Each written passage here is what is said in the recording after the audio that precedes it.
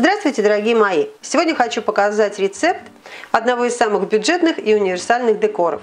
С помощью такого кружевного чипса можно декорировать как торты пирожные, так салаты и закуски. Для его приготовления нужны всего три ингредиента. 20 мл растительного масла, 40 мл воды и 5 граммов муки.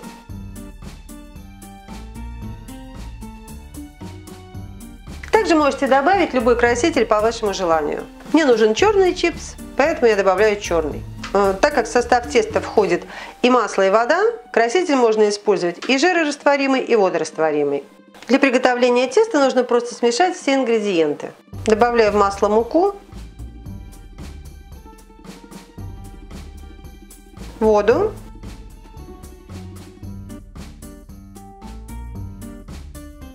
и сюда же краситель.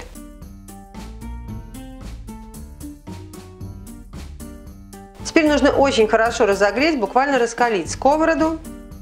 Перед тем, как вылить тесто, еще раз его промешайте и аккуратно выливайте. Желательно брать такую, у которой бортики повыше, потому что жир будет шипеть, стрелять, а закрывать сковороду нельзя, вода должна испаряться. Тут уж ничего не сделаешь, все вокруг будет в жиру, и плиту придется потом помыть. Но зато дешево и сердито. И когда вот это шипение полностью прекратится, чипс готов.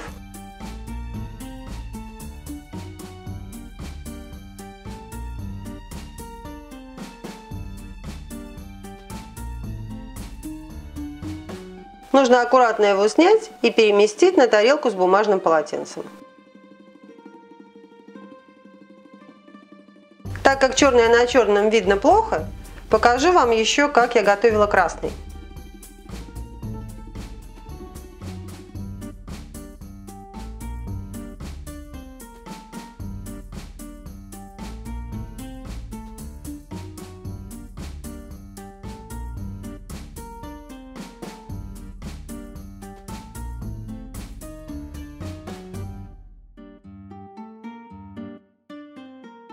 Смотрите, что получается в итоге.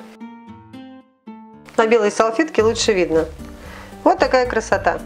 Дайте ему хорошо посохнуть и хорошо стечь маслу.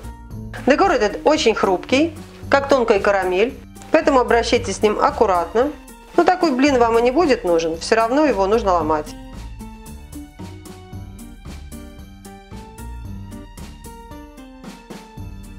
Этот декор нужно ставить перед подачей, потому что он размокает. А вот остатки от красного чипса.